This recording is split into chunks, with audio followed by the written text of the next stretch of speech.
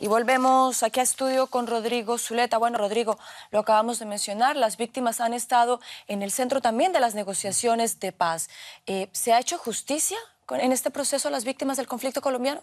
E, Esa es una pregunta muy difícil. El primer problema es que yo creo que una justicia absoluta que satisfaga a todo el mundo no va a haber en este proceso. Tendrá que haber muchas concesiones y una de las cosas claves de este proceso va a ser el manejo de las decepciones. Eh, por un lado está el tema penal, en qué medida a través de la llamada justicia transicional se va a poder eh, eh, eh, llamar a los tribunales a aquellos que hayan cometido delitos graves y en qué medida va a haber amnistías y en qué medida eso produce una decepción de parte de las víctimas. Ese es uno de los temas. Por otro lado está el tema de las reparaciones materiales y por otro lado me parece que esto es lo más importante y es en la medida en que se conozca la verdad de todo lo que pasó. Y eso también va a ser difícil y no se va a lograr por completo.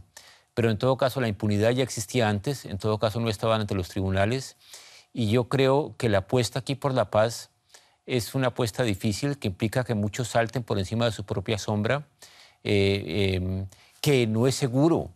Nadie puede estar absolutamente seguro que el proceso vaya a resultar, pero yo creo que el peor error que se podría cometer ahora sería por lo menos no intentarlo.